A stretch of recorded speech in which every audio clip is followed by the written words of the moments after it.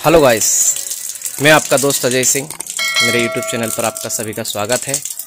और ये जो लहसुन है, ये है अमृत लाल जी जाट, हमारे गाँव के हैं, सिहोदा के। इन्होंने इसमें जो है स्प्रे किया था, वो किया था टाबोली का। और इसमें कैल्शियम नाइट्रेट भी दिया था इन्होंने, और अमोनियम सल्फेट और दोनों का मिक्स करके डाला था। आप इसको देखिए आप। किस टाइप से बड़ी हुई लहसुन लहसुन की साइज़ देखिए आप। प्याज से भी ज़्यादा बड़ी।